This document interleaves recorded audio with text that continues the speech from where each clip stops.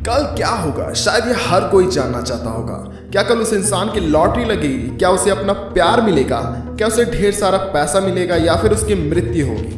यह कोई नहीं जानता कि कल उसके साथ क्या होने वाला है। हर कोई चाहता है कि वो अपना भविष्य देख सके। पर कैसा हो अगर हम अपने एक दो वर्ष के भविष्य देखने के बजाय भविष्य में वन गूगल ईयर यानी कि एक के बाद, सौ ज़ीरो वर्ष के बाद के भविष्य को देखें तो तो चलिए जाने कि वन गूगल ईयर्स बाद हमारा ब्रह्मांड का नज़ारा कैसा होने वाला है। वेल गाइस मैं हूँ सतीश और आप देख रहे हैं रन विद साइंस तो चलिए शुरू करते हैं। एक अरब वर्ष बाद, अब सूर्य 2020 के सूर्य से 10 परसेंट ज़्यादा चमकदार बन चुका है, जहाँ पर 2020 में धरती का एवरेज तापमान 14.6 डिग्री सेल्सियस था, अब वह 47 डिग्री सेल्सियस हो चुका है।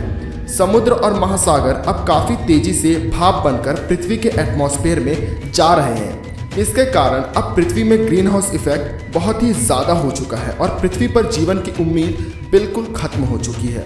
पर तीन अरब अस्सी करोड़ वर्ष बाद एंड्रोमेडा गैलेक्सी हमारी मिल्की वे गैलेक्सी की तरफ़ चार लाख किलोमीटर पर आवर की गति से आ रहा है। 2020 में एंड्रोमेडा गैलेक्सी पृथ्वी से 2.5 मिलियन लाइट ईयर्स दूर है। पर अब, यानी तीन अरब अस्सी करोड़ वर्ष बाद, अब यह मिल्की वे से टकरा चुका है। अब दोनों गैलेक्सी की मर्ज होने की प्रक्रिया शुरू हो चुकी है।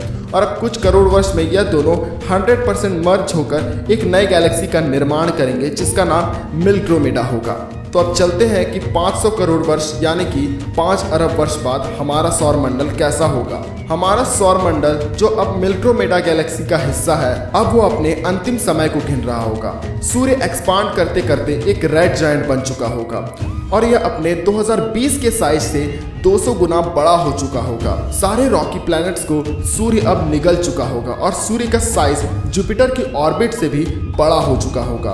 वेल अब जाने की 12 अरब वर्ष बाद क्या होने वाला है। जिस सोलर सिस्टम में आप यह वीडियो को देख रहे हैं, वो 12 अरब वर्ष बाद ऐसा हो चुका होगा। सूर्य अब कोलाप्स कर कर एक व्हाइट ड्वार्फ बन चुका होगा। व्हाइट ड्वार्फ स्टार काफ़ी छोटे होते हैं और काफ़ी डेंस स्टार होते हैं। और हमारा सूर्य व्हाइट ड्वार्फ बनकर अब ठंडा हो रहा है। और धीरे धीरे वो ब्लैक ड्वार्फ स्टार बनने की प्रक्रिया में चला गया है। पर 100 अरब वर्ष बाद गैलेक्सी के रेगुलर कलेक्शन, जिसे सुपर क्लस्टर भी कहा जाता है, और हमारी milky way galaxy Virgo super cluster का हिस्सा है। 100 अरब वर्ष बाद वर्गो सुपर क्लस्टर इतना पुराना हो जाएगा कि अब सुपर क्लस्टर अपने अंदर की सारी गैलेक्सीज को मिलाकर एक नए और विशाल गैलेक्सी का निर्माण करने वाला है, जो कि बहुत ही बड़ी होगी और करोड़ों लाइट ईयर्स तक फैली होगी। यह प्रोसेस यूनिवर्स में सदियों से चला आ रहा है और आज के समय जो विशाल गैलेक्सी हैं, वो भी एक टाइम पे सुपर क्लस्टर थे। तो चलिए अब जाने कि एक खरब वर्ष बाद क्या होने वाला है। वेल एक खरब वर्ष बाद अब ब्रह्मांड में कोई गैस क्लाउड नहीं बचा है, जिससे कि नए तारे का निर्माण हो सके।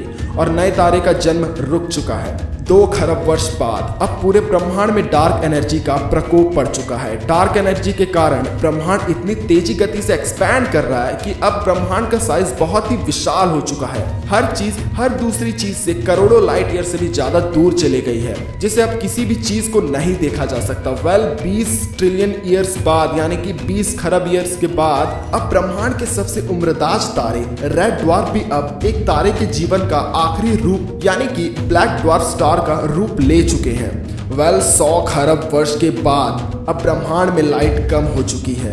अब ब्रह्मांड में सिर्फ़ न्यूट्रॉन स्टार और ब्लैक ड्वार्फ स्टार बचे हैं। और ब्लैक होल्स अब इधर से उधर भटक रहे हैं और बची कुची चीज़ों को भी निकलते जा रहे हैं। वेल अब वर्ष चल रहा है ten to the power of thirty seven यानी कि एक के बाद सैंतीस जीरोस यह ब्रह्मांड के अस्तित्व का सेकेंड लास्ट स्टेज है। सारे प्लैनेट स्टार गैसेस का एक एक एटम अलग हो चुका है। अब यूनिवर्स में एनर्जी का कारण सिर्फ़ प्रोटॉन का डीके होना है और सारे मैटर को ब्लैक होल निगल चुका है। Ten to the power of hundred यानी कि वन गोगल ईयर्स के बाद। अब ब्रह्मांड का आखिरी ब्लैक होल भी हॉकिंस रेडिएशन के कारण एवापोरेट हो चुका है और अब ब्रह्मांड में कुछ नहीं बचा, लेकिन सिर्फ़ दो चीज़ें बची है। एक तो रन विद साइंस का सब्सक्राइब बटन और एक लाइक बटन तो अगर आपको ये वीडियो पसंद आता है तो इसे लाइक करें चैनल को सब्सक्राइब करें, इस वीडियो को शेयर ज़रूर करें। धन्यवाद, मिलते हैं अगले वीडियो में।